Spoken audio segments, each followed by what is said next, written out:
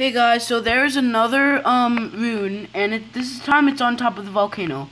and there is this little um thing, uh, a ball with a laser coming out of it, and then at the back of it there's a the um second rune icon, and it's like letting out like some kind of laser, and it's pretty cool, and you can like do damage to it.